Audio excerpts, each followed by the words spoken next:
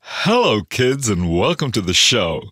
Today's letter is from eight year old Rachel, and this is what she writes Dear Sven, my sister Jennifer is more beautiful than me. Is it important to be beautiful? Well, Rachel, let me tell you the story about the beautiful prince.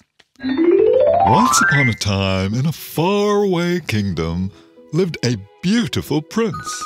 The prince was very beautiful. That's why they called him the Beautiful Prince. Silly. The people in that kingdom were sure the prince didn't like them much because they were less beautiful than him. One day, the troubled people had this little meeting. I know, said one man, if we'll find a way to make the prince less beautiful, he will like us much more. All the other people thought it was a tremendous idea.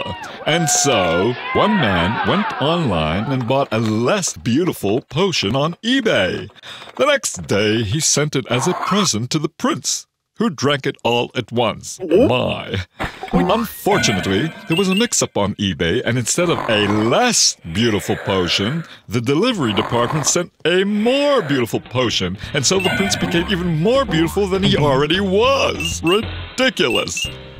Soon after realizing that, the prince looked at his people and got so angry at them for being even less beautiful compared to him that he killed everyone in the kingdom, burned their houses, sodomized their cattle, grabbed all of their money, and spent it on endless supplies of drugs, lots of accessories for his iPod, and a 14 bedroom house in the Hamptons right next to Spielberg where he lived happily ever after. The end.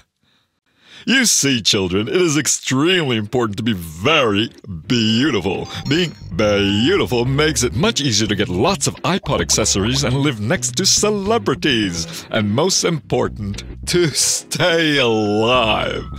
Have a beautiful evening.